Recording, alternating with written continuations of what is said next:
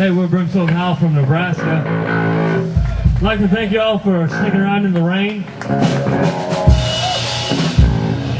You're good. And Shut her down. Chris and everybody for making this happen.